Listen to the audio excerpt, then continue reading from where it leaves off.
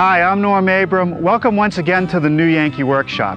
Over the next couple episodes, we have a project I think you're really going to enjoy, at least if your letters and emails are any indication. Now, many of you have said that you don't have the space to have a standalone workshop like we have here at the New Yankee Workshop, but you want to do woodworking. Well, how about a garage workshop, where you simply move your car out of the way, roll the tools out, and build just about anything you want or see here in the New Yankee Workshop. Well, that's what we're going to do over the next two episodes. We're going to build the cabinets, the fixtures, and set the tools in place. You won't want to miss it. That's next, right here on the New Yankee Workshop. The New Yankee Workshop features the craftsmanship of Norm Abram. Well, here's the place we've picked to build our garage workshop. It's a pretty typical two-car garage. And does this look familiar? The garage is always the storage place of last resort. Everything ends up here. The construction is open wall, just studs and plywood, open ceiling joists. We have a nice high space in here. Now let me show you what we're going to do on this side of the garage where we're going to set up the workshop. We have a space 22 feet long, 12 and a half feet wide. If you look down at the floor, you can see that when the vehicle is pulled in, the tire sits right about here. We have an advantage in this garage because there's about six feet of additional space to the side. Most garages have about three feet, which is still plenty to build your cabinets and have a place to store your tools. Now I left some of the ceiling open so I could show you what we did before we closed it in. We added some six inch insulation, then some one by three strapping onto the bottom of the joist. After that was done, we put this half inch Homasote. This stuff has been around forever. It's made out of recycled newspaper. It's about the same price as drywall, and it's very durable. I attach it to the strapping with roofing nails, just butting the joints together, and after that, just roll on a nice bright paint. So, you know, most workshops are pretty dark, uh, most garages are very dark and dingy, and we want to brighten that up. Now, this garage has the advantage of a heating system already installed. We have radiant heat. But if you didn't have that, you could put in a wood stove or some other choice of supplemental heat. The walls are all closed in. And once again, before the wall was closed in, I added insulation wherever it was necessary. Here, we had a concrete wall to deal with, so I had to build a stud wall here, then strap everything horizontally, attaching it to the concrete with masonry nails. Then I called in our electrician, Alan Gallant, he rough wired for outlets. We need plenty of outlets, about every six feet, and also provided some wiring for additional lighting. You can never have too much light in a workshop. But here's a really nice feature that he put in, this kill switch right here. When this key is taken out, no one can use the outlets in the workshop. It's a safety issue. It keeps children and unauthorized people from coming in here and using the tools. Now for the walls, we're using one by eight shiplap pine. It's rough on one side, smooth on the other side. And you may think this is excessive, but we found that rather than use pegboard or drywall, by using solid wood, you can attach anything anywhere. Now that that's done, I'm going to install a coat of a beige paint, again to brighten up the shop. Then we'll bring in the tools, start building our garage workshop. I suppose if there were only one stationary power tool you could buy for the workshop, it would be this, a table saw. We're going to use it to build this garage workshop, and you can use it in every single woodworking project that you do. Now, people are always asking me what kind of features I look for in a table saw. So many of these tools are sold as direct drive saws, which means there's just a motor mounted under the table, and the arbor is part of the actual electric motor. I like a belt-driven saw. The motor is separate. It sits out front or it hangs down below the saw, and the arbor is driven by a belt. It's a much smoother running saw. I like a cast iron top on the saw. It's very durable and it's very flat. I want the arbor to be long enough to accommodate a full-size dado head cutter. And I want a really good rip fence, one that slides easily, and when I lock it down, it's parallel to the blade. I like to have an extension on the fence. In this case, I go out to 30 inches, which means I can rip a 4 by 8 sheet of plywood in half, and that accommodates my ripping needs. And lastly, I like it to have it on a mobile base so I can move it around the shop when necessary. But before you use any power tools, let's talk about shop safety. Be sure to read, understand, and follow all the safety rules that come with your power tools. Knowing how to use your power tools properly will greatly reduce the risk of personal injury. And remember this, there is no more important safety rule than to wear these safety glasses. Now for our garage workshop, we're going to build some wall cabinets, which will have doors, some open storage, a nice big base cabinet with a good countertop and drawer storage underneath. Then we'll build a portable unit that'll come out and hold the miter box and other portable power tools. Now let me assure you that we will have a plan for the garage workshop. It'll list all the materials, all the hardware, and all the tools that are going into the shop. And you'll hear more about that before the program ends. Let's get started with this pile of plywood. I can't tell you how many emails we get about this material. It's MDO plywood, medium density overlay. Plywood substrate, thin paper facing on each side. You can buy it at a well-stocked lumberyard or a home center, or call your plywood supplier. You can leave it unfinished, it's nice and smooth, or you can paint it, and that's why sign painters like it so much. Whenever I work with plywood, I make a plywood cutting diagram to get the most out of each sheet. It's difficult to handle full sheets, so I'm going to make some initial cuts with a circular saw. I've set up a straight edge clamp, and I'm just going to let the base of the saw ride right up against the clamp for a nice straight cut. All right, the first cut on our new table saw. Let's see how it works. With several of the strips ripped, I'm making a rough cut for length using the circular saw. Then I'll take the pieces to the table saw and use the miter gauge for the final cut. All right, with one end square, I can measure my length, mark it, and make the cut.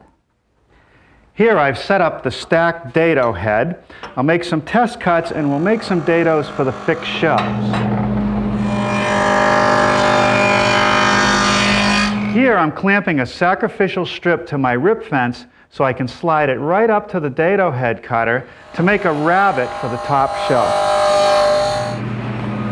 Here I've raised my dado head to 3 eighths of an inch and made the first of two passes to create a rabbet for the plywood back. That second pass completes the rabbet for the back. This quarter inch groove in the top shelf will receive the plywood back. I'm now ready to assemble one of the upper cabinets. A little bit of glue in the rabbet. Bring the piece into place, set it flush with the front.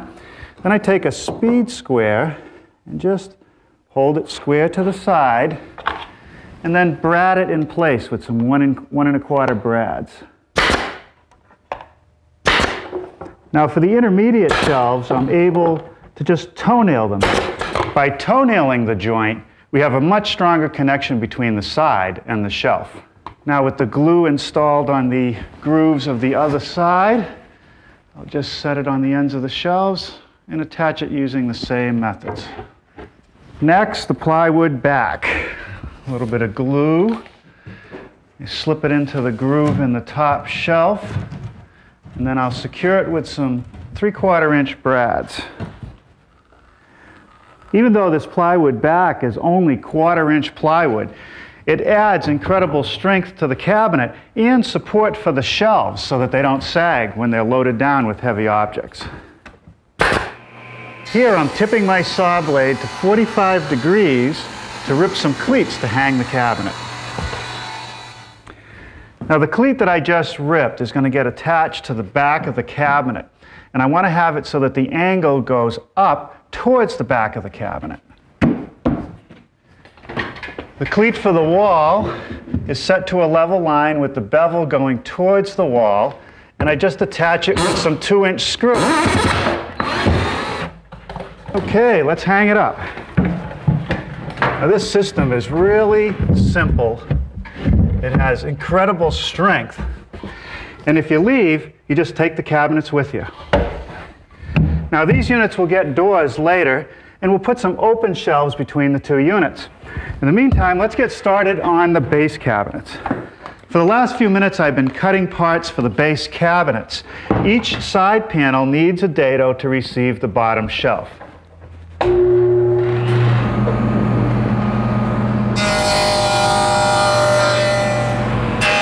I've just run a rabbet along the back edge of the base cabinet side.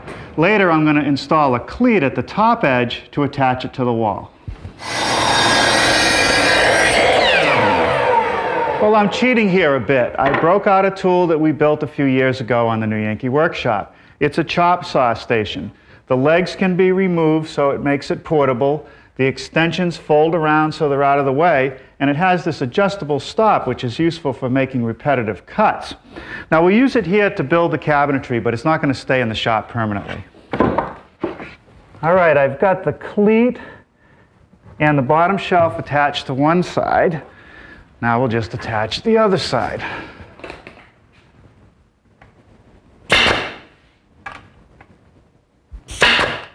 A little bit of glue on the ends of the front 2x4 support. Drop that into position and attach it with a few screws. Now I'm ready for the divider to which I'll attach the draw slides later. A little more glue and some brads. That hole is necessary to access the adjustment screw on these leveling feet that I bought from my woodwork supplier. These are just glued in place and attached with a couple screws. All right, that takes care of one of the base units. Before I leave tonight, I think I'll build the other one. Tomorrow we'll make doors for these cabinets, some drawers, and the countertop. Well, good morning. I thought I'd drag out our new benchtop drill press because I'm going to need that a little bit later. Now, last night before I left, I worked out a few of the details. I hung the doors on the wall cabinets, and I'll show you that a little bit later. I assembled the other base unit, and then I worked on a detail that's really important. Anytime you have a kitchen cabinet or a bathroom vanity or a cabinet in the workshop, in order to work comfortably at it, you need a toe space. Now I'm going to close this in later so I don't have a toe space. So what I did is extended the top by three inches. This also gives me a bigger work surface. Now this overall length is 26 and 3 quarter inches. If I had ripped that out of a 4 by 8 sheet of plywood, I would have only got one strip. So I rip the side 23 and 3 quarters, so I get two strips. They don't call us Yankees for nothing. And then I use the piece of scrap for the extension. Now I attached it with biscuits and glue. So I marked out a location for the slots. I'm going to take my plate joiner and cut the slots for the biscuits.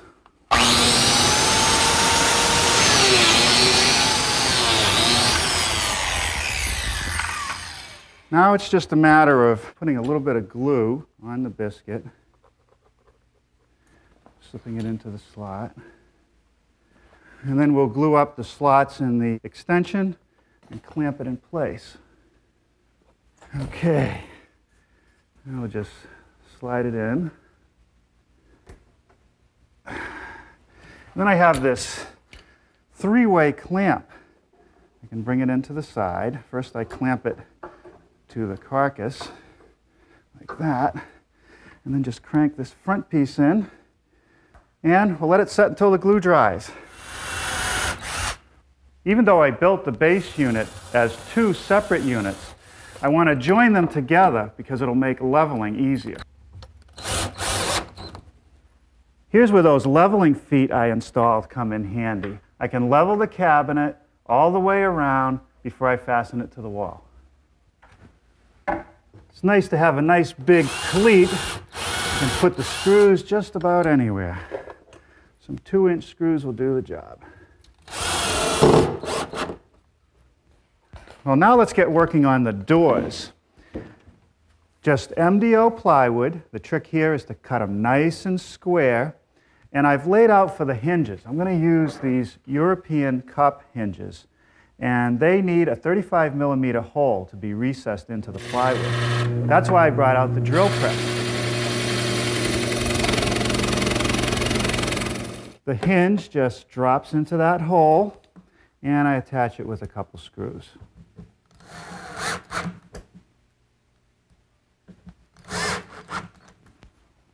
Next, I have to attach the corresponding piece of the hinge. The same outfit that sells the hinge sells this little jig. It allows me to drill the pilot holes exactly in the right place. With the holes drilled, it's just a matter of attaching the hinge with a couple screws. Okay, let's put the door on. Just a matter of bringing the two pieces together, snapping it in place. And that's all there is to it. Let's finish the rest of them. Now the next thing I want to do is close the gap on this base cabinet between the doors and the floor. So I have to rip this strip down a little bit narrower. We'll just roll out our table saw. And this is where it's really nice to have the tools on a mobile base. Easy to get them out, lock them so they don't roll around, and power them up to use.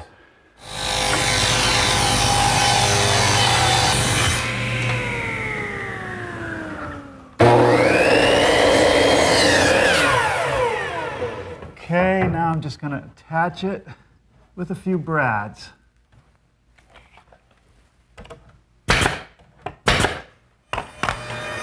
For the last few minutes, I've been working on the parts for our storage drawers. Now I'm using half-inch thick MDO plywood. I have side pieces, front pieces, and back pieces. I'm running a quarter-inch groove in all of those pieces to receive the plywood bottom. Here I'm expanding the dado to half inch, and you'll see why in a minute. All right, whenever I change a blade, I unplug the power tool. Here I've installed a stop block, which is going to be a guide so that as I push the piece through, it won't bind up. This half inch dado is going to be for the back of the drawer.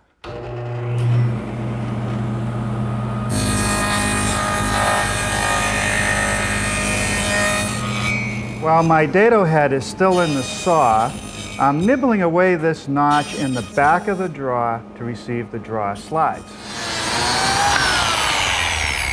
I've just cut a couple number 10 biscuit slots in the side piece, and that's how I'm going to join the fronts to the sides. I'll cut the slots in the sides, then the fronts.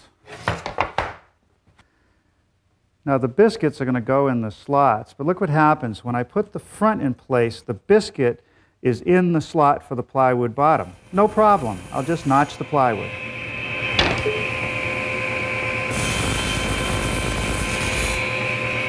All right, now a little assembly.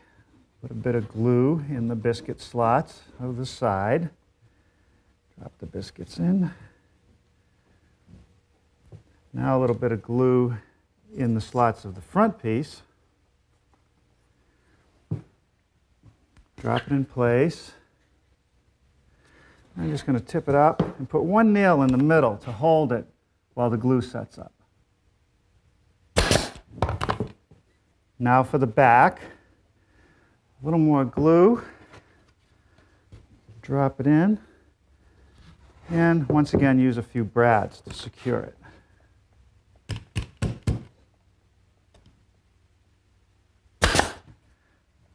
Now just tip it up, slide the bottom into place, and then just repeat the process for the other side. I've just drilled a quarter inch hole above the notch on the back of the draw, and that's for these draw slides. It's a full extension slide, and it's actually going to be concealed underneath the draw. Now this pin right here has to go into that hole and what that does is it keeps the drawer from tipping out when you open it. On the underside of the drawer at the front, there are these release mechanisms that will attach it to the slide itself. A couple screws holds that in place.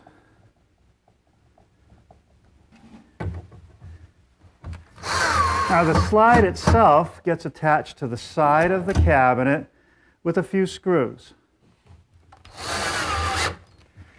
Okay, let's see how it fits.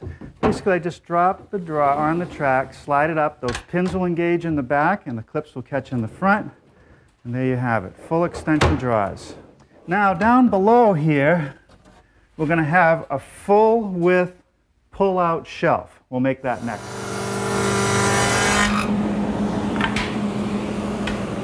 Now these pieces of two and a half inch wide pine that I've just put a groove in will be used to wrap the pull-out shelf. With my miter box turned to 45 degrees, I'm mitering each corner of the pine to wrap that shelf. Okay, now a little bit of glue in that groove. Drop it over the edge of the plywood, set it in place, and attach it with a brad. Now we're ready for the slides on the tray. This part of the slide just attaches to the bottom of the shelf. The rest of the track gets attached to these plywood blocks at the bottom of the carcass, just sitting right on that shelf. Now I just have to line up the two parts of the track, it's close, and slide it in. There we go. Now we'll be able to pull this shelf all the way out to easily get at our tools. One more to build. Here I'm laying out some of the parts for the countertop. I'm going to use a 2x4 frame on the flat, then some 3 quarter inch plywood, then some quarter inch masonite. Now where the 2x4s intersect, I'm going to use a half lap joint. I've removed half of the material from a cross piece. Later I'll remove the material from these long pieces, glue and screw them together.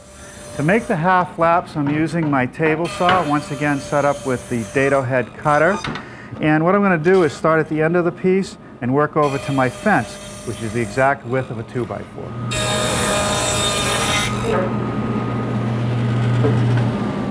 For the last half lap on the ends of the long pieces, I've set my rip fence to the left-hand side of the saw blade. That way I don't have to look at the mark. I can use my right hand to support the piece I know when I reach the fence, I got the right size. To secure the lap joints, I'm applying some glue. Once I get it all together, I'll attach it with some one and a quarter inch screws.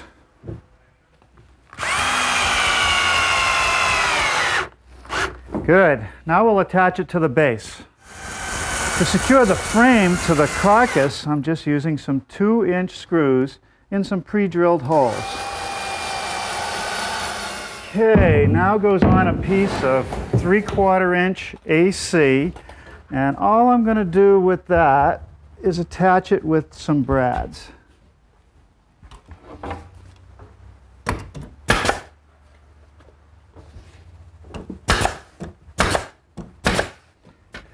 Well, it's time to clean up.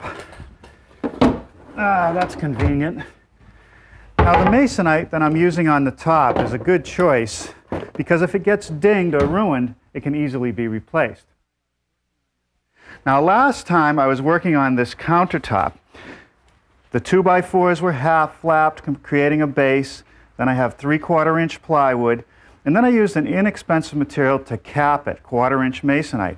If it gets dinged or ruined, remove it, put a new piece down. Now today I want to install this woodworking vise. But before I do that, I want to complete wrapping the edge. I'm just using two and a half inch pine with mitered corners. I'm going to set it in place with a pneumatic nailer. And before we use any power tools, let's talk about shop safety. Be sure to read, understand, and follow all the safety rules that come with your power tools. Knowing how to use your power tools properly will greatly reduce the risk of personal injury. And remember this, there is no more important safety rule than to wear these safety glasses just a little bit of glue on the miter. And I'll just hold the piece flush with the masonite and nail it in place with some six penny finish nails.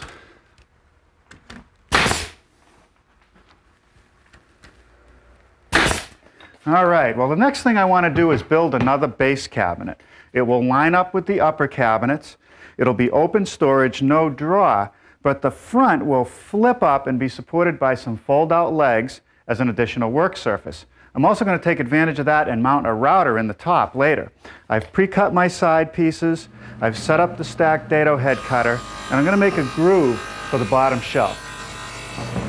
Here I've raised the dado to 3 eighths of an inch, installed this sacrificial strip to make a rabbet for the back cleats.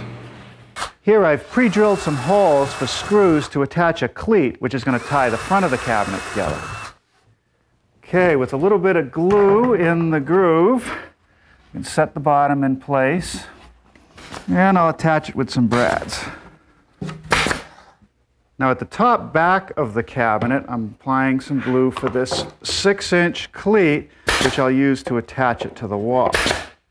Now this is the front cleat to tie the carcass together and a little bit of glue and some screws through those pre-drilled holes. All right, with glue at all the joints, I'll attach the other side using the same methods. Now this strip of plywood goes at the back of the carcass underneath the bottom shelf to provide some additional support. And again, just some brads to hold it in place. That half inch hole is so I'll be able to access the adjuster screw on the leveling feet. A little bit of glue on the block, a couple screws. Now at the front of the cabinet, there's a filler that goes down to conceal the leveling feet. This one inch spacer which will go between the cabinets is so that the flip up top will clear this extension.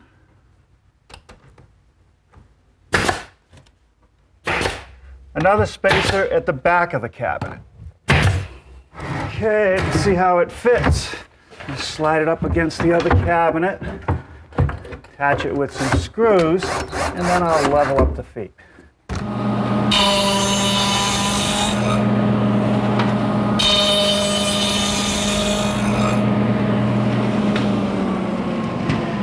Here I've set up the dado cutter again and I'm plowing out material in these 2x4s to make half laps for the fixed top on the cabinet.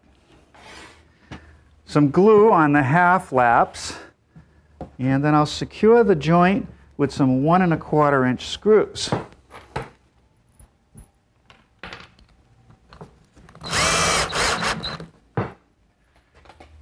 Now I just take the frame, sit it on top of the carcass, pre-drill some holes and attach it with some two inch screws.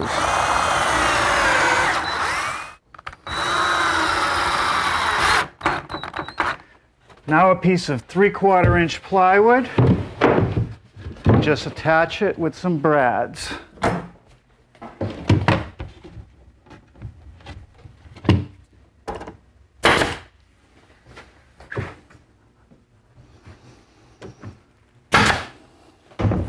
Now the piece of masonite just sits on top. And now we'll trim this edge with some more pine. Here I'm installing three hinges on the underside of the countertop. They're used to attach the flip up front.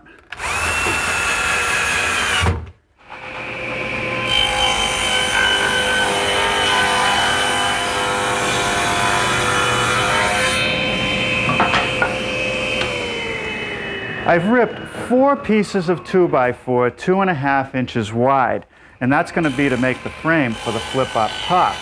It's going to take two passes to make a rabbet into which I'll set the plywood and the masonite.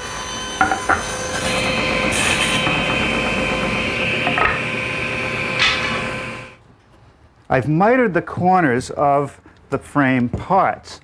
Now I'm just going to glue each corner and assemble it with some six-penny finish nails. Here I'm inserting a piece right down the center for additional strength. Now here are the legs, also made out of some ripped down 2x4 stock, and I have to round over the top edge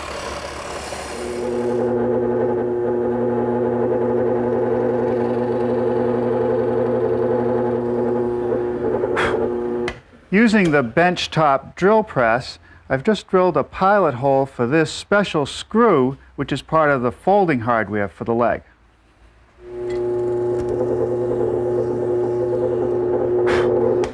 After switching bits, this hole is for a through bolt. All right, now I can attach the hardware to the leg. I start with this bracket, put a bolt through, then this bar. Everything goes through that 3 16 hole in the leg. Use a drill to get that through.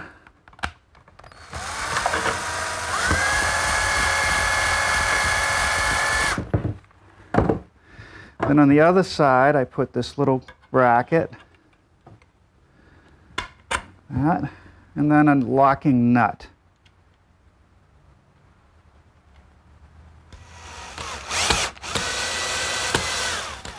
Next, I call to put this screw in through the angle part of the bracket and the small metal bar. And that takes care of mounting the hardware on the leg. Now the idea is to attach the whole assembly to the frame.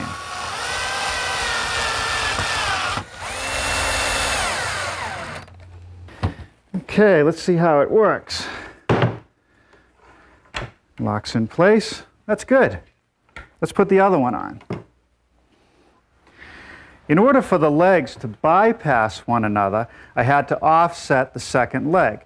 I've screwed it to the frame and then I've screwed the other side of the angle to a block, which I'm just going to nail in place from the outside here. And later I'll glue it and attach it to the plywood top. That should be plenty strong. Now the hinges get attached to the frame. Set it in place and get the pins in.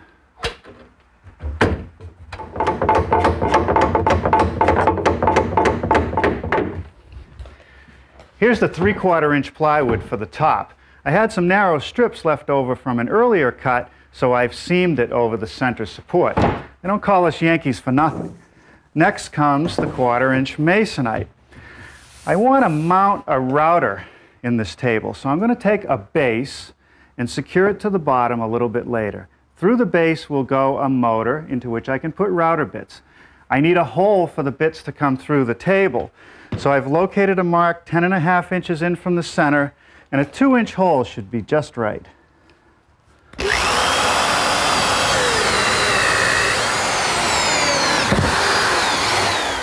I've removed the masonite and flipped the plywood over.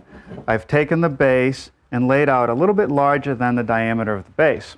The combined thickness of the top between the plywood and the masonite is an inch. That means my bits are going to be greatly compromised in the distance that they can come through the table. So I'm going to relieve or remove some of the material to maximize the use of my bit. To cut it out, I'm using my plunge router, which is set up with a 3 quarter inch straight cutting bit, and I'll just freehand the material away.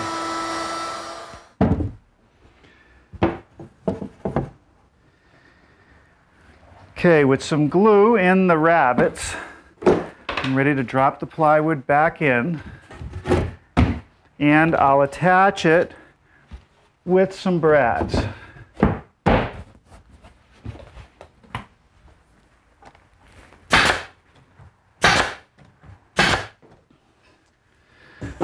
Now I can set the masonite in place.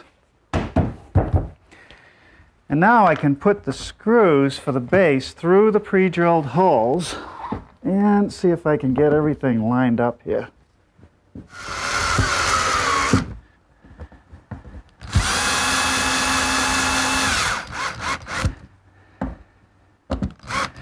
Okay, that's good. Now it's not the most convenient spot to get to under here, but for deep storage, it'll work great. And when it's time to put it away, you just fold up the legs and let it go down to seal off the cabinet. That works great, and it only takes a couple seconds to flip it up and get a nice big work area. Now there's a couple more things I want to take care of up here. I want to put some shelves, open shelves with no doors in the middle, and I want to attach my drawer fronts. The open shelves are going to sit on some 3 quarter by 3 quarter cleats just made out of plywood. I pre-drilled holes and I'm using some one and a quarter screws to fasten them.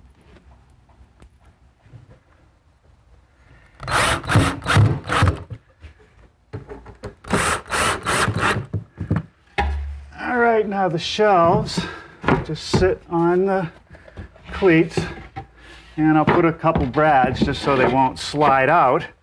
And I think I'll rip some strips of pine to dress up the front edge. A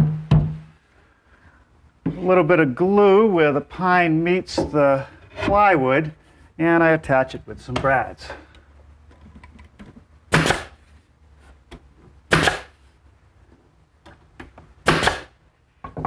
Now I'm ready to apply my draw fronts, and there's a little trick here. I don't like to measure and try to figure out where the front actually attaches to the box. I like to set it in place, use a couple spring clamps until I get it spaced exactly the way I want, and then I can attach it with some screws from the inside. Okay, now I'm using some one inch screws to attach the front.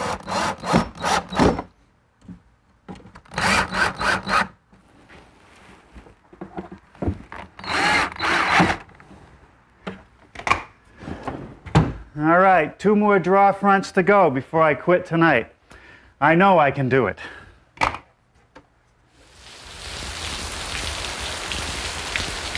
Uh, I don't know. The forecast said sunshine. I don't think so. Nevertheless, today we should be able to finish our garage workshop. Now, during the course of this project, you've seen me use this tool, a chop saw station. We built it a couple years ago, and if our email is any indication, this is a very popular project. We built it in response to the carpenters who watched the show. They wanted a place to set their saw while they were on the job. So it's meant to be portable. These extensions fold in, the legs drop out. There are really four parts, a table, two legs, and the chop saw. Now I like the height because I don't have to bend way down to get a good sight line on the saw blade. Now if space was no problem, this would be a great choice for the workshop. But we are tight here, so we need something smaller. And we do want to have the miter saw available all the time because you use it in just about every project. So we have to come up with a different design. I want to make a unit that's on wheels so I can bring it out and use it whenever I need it. And I want to maintain that height. I'll have some extensions, but not quite as long as the chop saw station. And I think I'm going to build it in two levels so that I can use the chop saw on one side and then use other benchtop tools on the other side. Put a nice storage drawer in it, close it in with a couple doors, and I think we'll have a nice cabinet. Let's get started. Many of the good ideas for this workshop came from my friends Mark Strawler and Scott Box. They suggested this flip-up work surface. It works great, as I found out this morning as I began laying out the parts for our mobile unit. What you see here are two pieces of MDO plywood clamped together. This is the top edge of one of the side of the side pieces. I've laid out various aspects of the cabinet. The first thing I want to do is take this section out. This is where the miter box is going to sit, and this is where other portable benchtop tools will sit. I'm just using a straight edge clamp. I'm going to use the circular saw to make the cut.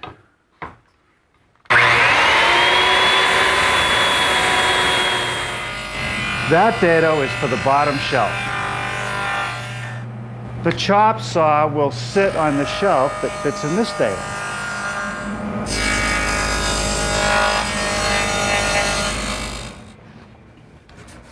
That dado will close off the low work surface from the upper work surface.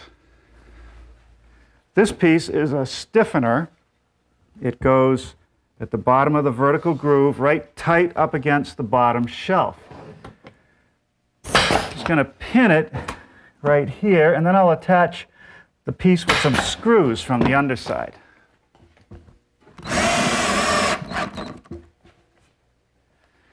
The next piece is the top where the chop saw will sit.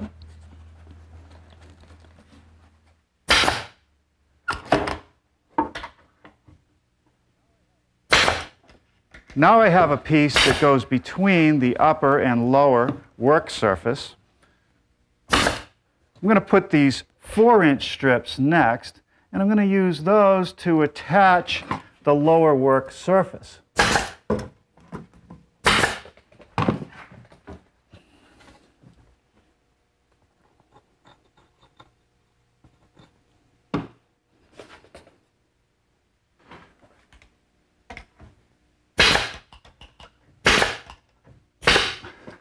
Now I'm going to take the other side, which I've already put the glue and all the dados, try to set it together. Once it's secured in place, I will fasten it using the same methods.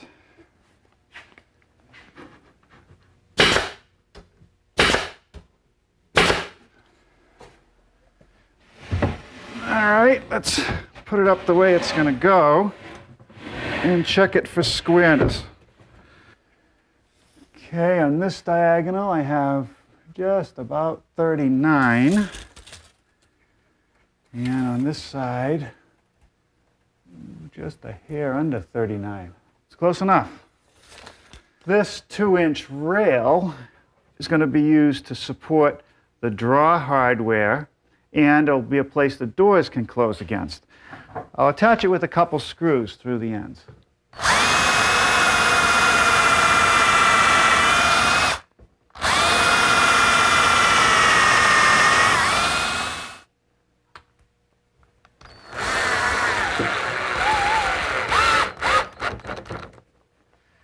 Next thing I want to do is dress up the front edge of this bottom shelf. I'm going to cut a piece about an inch and a half wide. That'll make it stiffer also.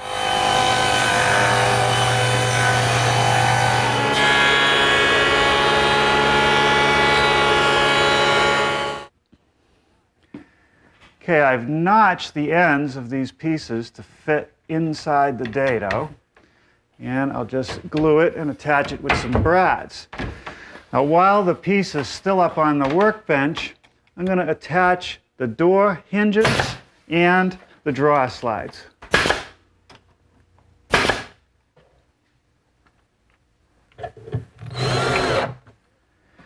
These are full extension slides, and this part couldn't be easier.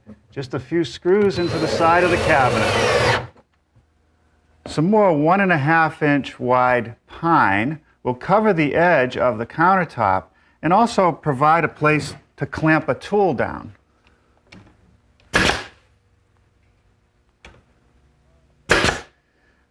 While I've still got the cabinet up on the bench where I can work on it, I want to install these plywood blocks underneath the cabinet. It'll give me more wood into which I'll be able to set lag screws which will secure these locking casters. All I'm going to do is apply a little bit of glue and nail them on with some brads.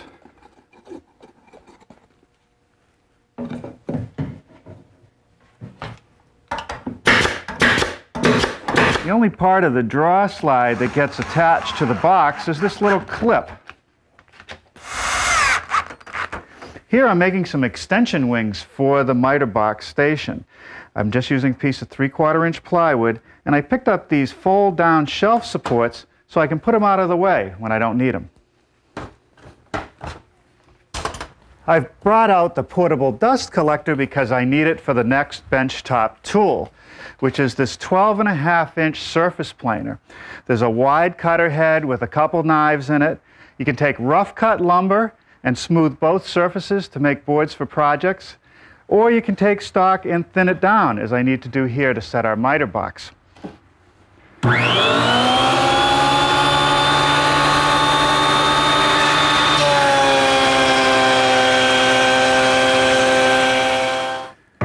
Secure the miter box, I'm using some small fender washers and some drywall screws.